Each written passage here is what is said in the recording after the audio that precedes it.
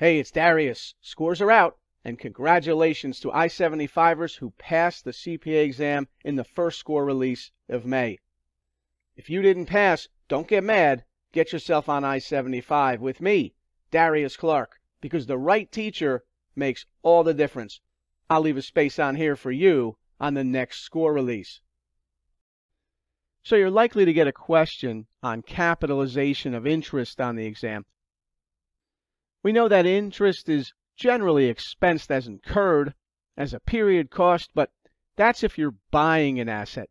What if you're building an asset, like constructing a warehouse, an office building, a factory for use in business? Then you would capitalize materials and labor, you would capitalize the overhead, and also capitalize the interest on any loan to help finance the construction. The interest during construction is added to the capitalized cost of the building, and the interest cost will ultimately be expensed through depreciation. But not all interest is capitalized in construction. Do not capitalize if it's inventory being built. So do not capitalize interest on loans to construct inventory or loans to buy inventory. Anything to do with inventory, expense the interest. Only capitalize interest if you're borrowing money to construct a building for use in the business, like a factory, a warehouse, or an office building. Do not capitalize interest before construction or after construction. Only during construction would you capitalize interest, not before or after. And it wouldn't be construction without delays. So do not capitalize interest during intentional delays in construction. However, you would still capitalize interest during ordinary delays in construction. Delays that are intentional may relate to market conditions, and if that's the case and you're stopping construction until the market improves, then interest must be expensed on the construction loan until construction begins again. Why? Because that's an intentional delay. So if on the exam your client shuts down the construction waiting for a better economy, then if they're still paying interest on the construction loan, expense that interest. But an ordinary construction delay, like a permit delay, inspection delay, you would continue capitalizing interest because it's an ordinary delay. But if it says it's an intentional delay, then stop capitalizing that interest and go back to expensing the interest until the delay is over. Let's try this. Medina Corp is constructing a warehouse for use in manufacturing the capitalization of interest cost is appropriate during a construction delay that is A, intentional, B, related to permit processing or inspection, C, both, D, neither.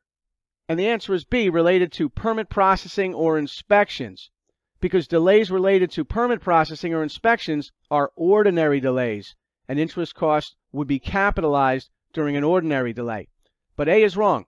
Delays that are intentional often relate to market conditions. If that's the case, and construction is intentionally delayed until market conditions improve, then interest must be expensed on the construction loan until construction begins again. And the question asked Medina Corp is constructing a warehouse for use in manufacturing operations. The capitalization of interest cost is appropriate during a construction delay, that is, and the answer is B, related to permit processing or inspection because you can still capitalize interest during normal construction delays. And let's face it, that's what companies would rather do. They'd rather capitalize something than expense it because if you expense it, it hits the income statement in a negative way. Whereas if you capitalize it, it stays off the income statement and goes right to the balance sheet. Let's try this. During the current year, Hodge Corp constructed machinery for its own use and constructed machinery for sale to customers in the ordinary course of business. What do we call that? Something for sale to customers in the ordinary course of business. That's inventory. Okay, so Hodge Corp did two things. They constructed inventory, but right before that, they constructed machinery for its own use. So they built machinery for two different purposes, for their own use and for sale to customers. The Acme Credit Company financed these assets both during construction and after construction was complete. Hodge Corp should capitalize interest during construction rather than expense it. if the interest related to machinery built what? A, if the machinery was built for Hodge Corp's own use. B, if the machinery is being built for sale to customers. C, both. D, neither. And the answer is A. Interest cost incurred during the construction period of machinery to be used by a firm as a fixed asset. That interest should be capitalized. But B is wrong. Interest cost on the manufacture of machinery held for sale to customers, that's inventory. That interest should be expensed in the income statement for the current period. And the question asked, during the current year, Hodge constructed machinery for its own use and constructed machinery for sale to customers in the ordinary course of business. So they wanted to know which of the interest costs could be capitalized, and it's only on the machinery for its own use, not on the machinery being built for sale to customers. So the answer is A. All right, capitalization of interest cost is appropriate to finance the cost of items held for resale, like inventory, if the assets are A, self-constructed, B, acquired in the open market, C, both, D, neither. And the answer is D, neither. Do not capitalize interest on loans to construct inventory or loans to acquire inventory. The minute you see it's inventory, expense any interest connected with it. Only capitalize interest if you're borrowing money to construct a factory, warehouse, or office building for use in the business. And the question asked, capitalization of interest costs is appropriate to finance the cost of items held for resale, like inventory, if the assets are, and the answer is D, neither. They would be expensed. The interest on self-constructed inventory would be expensed, and so would the interest on inventory acquired in the open market. So any interest that has to do with inventory, just expense it. All right, the amount of interest that can be capitalized is based on accumulated expenditures, the amount of money paid for materials, for labor, for overhead. The amount of capitalized interest is not directly based on the amount borrowed. Whether you borrowed 10 million or 10,000, if you haven't started spending money yet for materials, labor, and overhead, do not capitalize any interest yet. Begin capitalizing interest when construction begins. When does construction begin? When expenditures for the building have been made, when the architect has been hired and paid, digging the foundation, buying materials. Activities have to be in progress. Permits and inspections are being done. That's how you know construction has begun, and that's when you can start capitalizing interest. Before that, interest has to be expensed. And after construction, you got to return to expensing interest as well. All right, Bar Corp borrowed 10 million at 10% interest and paid $2,000 in interest cost in January and in February. However, the company has not yet incurred any costs related to construction. What amount of interest should be capitalized? Is it zero, 2,000, 4,000, or an estimate based on projected future costs? And the answer is A, zero, because under U.S. GAAP, interest can only be capitalized when all three of the following conditions are met. One, expenditures for the asset are being incurred. That means materials, labor, permits, these costs haven't been incurred yet. Two, construction activities are in progress. They're not, not yet. And three, interest cost is being incurred. Well, maybe the interest cost is being incurred, number three, but what about one and two? Got to have all three of those to capitalize any interest. So in this scenario, although interest is being paid, no construction related expenditures have been incurred yet, so no interest should be capitalized. All interest incurred to date should be expensed. And the question asked, what amount of interest should be capitalized? And the answer would be a zero, because no construction has begun.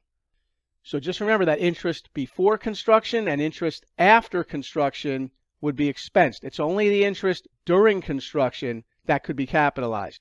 Let's try this.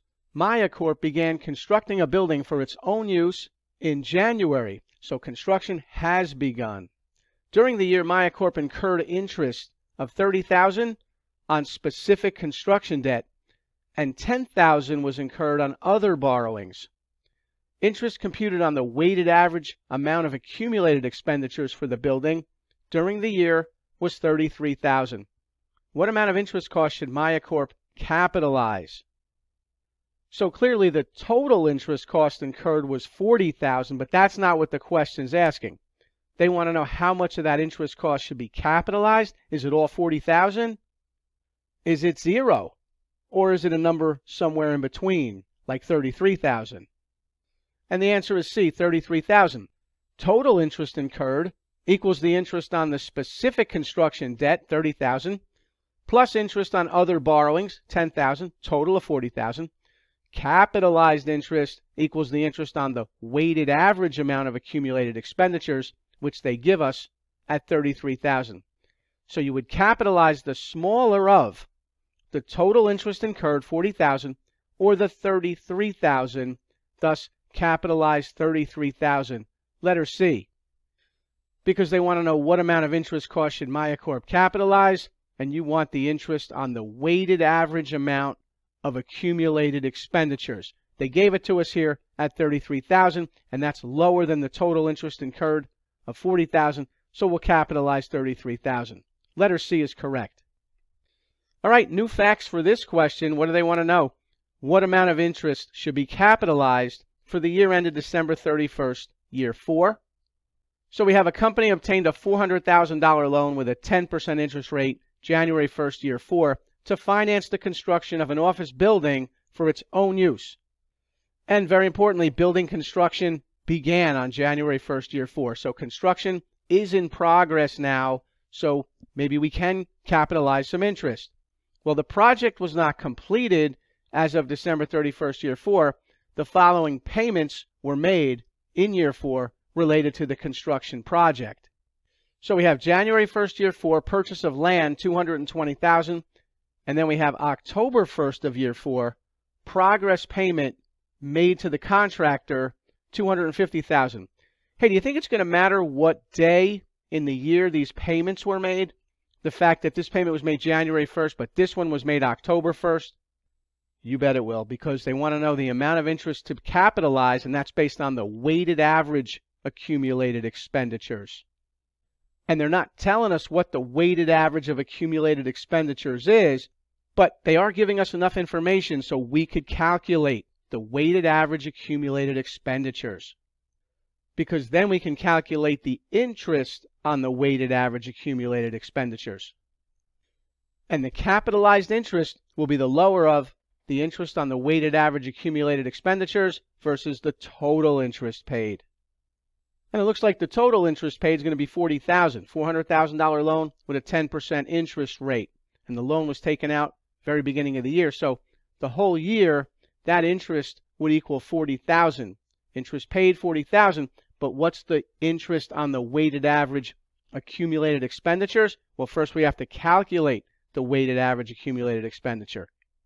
And notice the answer is 28,250. That's how much interest we're going to capitalize Let's see how we got that. We start with the first expenditure on January 1st, the purchase of land, 220,000. That expenditure was outstanding for the entire year because it was made on January 1st. So all 220,000 is relevant. But then there was another expenditure October 1st. Progress payment to the contractor.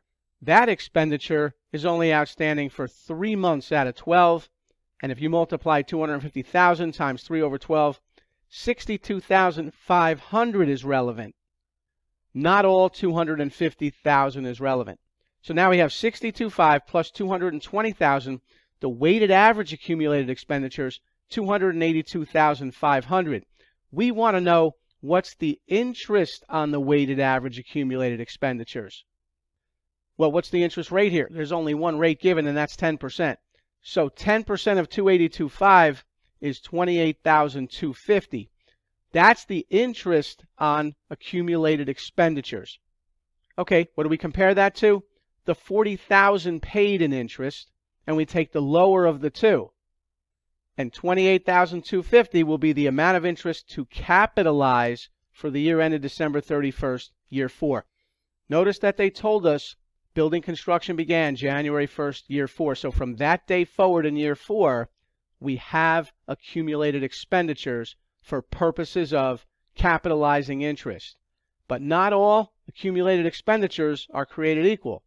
The one made January 1st, that's outstanding for the whole year, but the payment made October 1st, that's only outstanding for three months.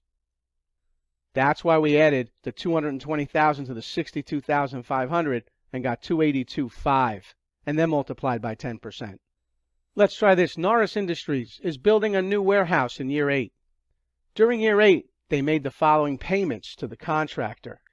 So January 2nd, year 8, they paid 2 million. December 1st, year 8, they paid a million. Norris has a 10% 3-year construction loan of 4 million. What's the amount of interest cost that may be capitalized to the warehouse account during year 8? And if you think you know, leave me the answer in the comments or community section.